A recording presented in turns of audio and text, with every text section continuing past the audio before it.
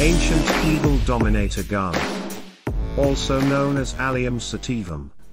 Known to humans for over 5,000 years, as far back as the Egyptians and Babylonians, this ancient bulbous vegetable is one of the most powerful in the Book of Medicinal Herbs.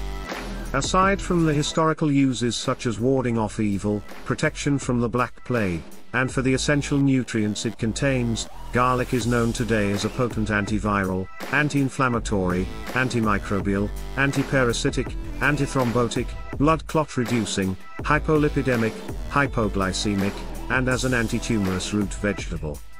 It also tremendously improves stamina and cardiovascular health. Recent studies have shown that interplanting garlic among key weeds with several metal-resistant and absorbing bacteria species supports the microbial remediation and distributed uptake of heavy metal contaminants from soil in what is called phytoextraction, a sub-process that involves plants removing dangerous elements. On Earth, one of the most commonly widespread heavy metal contaminants is cadmium, causing environmental control problems as part of soil pollution which can cause irreversible damage to consumer health if food chain accumulation reaches assessed critical levels.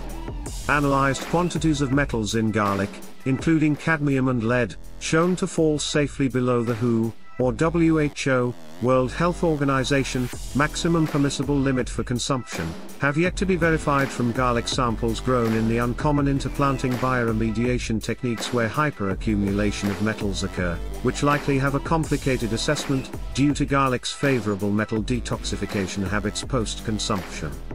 Levels of hazardous lead and cadmium on Mars could become amplified, with increased physical and chemical weathering processes attributed to future Martian weather and chemical activity. Any use of bioremediation techniques using interplanted garlic on future Martian soil can be leveraged and evaluated in waves to remove elevated contaminants from soil prior to use for cultivation, regardless of garlic's metal detoxification habit due to its bioactive compounds and chelating ability known to effectively remove such toxic metals from the body. In addition to helping us on Earth, how can this amazing organism help us on the journey to and on Mars? Be sure to like and subscribe to the Martian Ark for more content, and leave your thoughts in the comments below.